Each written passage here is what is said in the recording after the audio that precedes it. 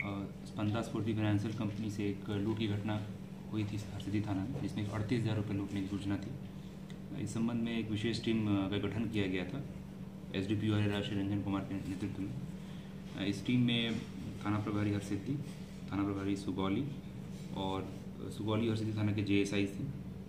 और इसमें जिला सूचना इकाई द्वारा भी सहयोग प्रदान किया जा रहा था। टीम द्वारा कार्रवाई की गई और आठ अप्रैल को, गुप्त सूचना के आधार पर चार अभियुक्तों को पकड़ा गया है, सुभाष सहनी, अजय सहनी, नारद सहनी और रंजन कुमार। ये सभी हरसिद्धि थाना के हैं। इनके पास एक देसी कट्टा, दो गोली, एक चोरी का मोटरसाइकिल, घटना में प्रयुक्त किया हुआ एक अपाचे मोटरसाइकिल, एक मोबाइल, एक डिमांड स्लिप और साढ़े चार हज़ार रुपये नकद बरामद हुए हैं, जो कि लूट का प्रतीत होता है। सुभाष सहनी के विरुद्ध चोरी के तीन कांड दर्ज हैं। अजय सहनी के विरुद्ध चार आपराधिक मामले हैं चोरी के। नारद सहनी के विरुद्ध एक चोरी का और एक डकैती की योजना का मामला दर्ज है हरसिद्धि थाना में ही। इस सफलता के उपरांत दो महत्वपूर्ण कांडों का उद्भेदन हुआ है।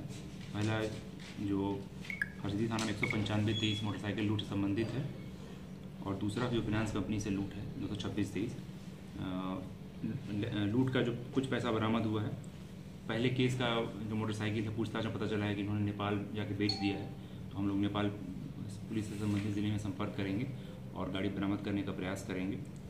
और ये महत्वपूर्ण उपलब्धि है और आगे हम प्रयास करेंगे कि बाकी जो बचे हुए कांड हैं, उसको दिशा में कार्य करें। लेटेस्ट खबरों को सबसे पहले देखने के लिए सब्सक्राइब करें। Digital news twenty.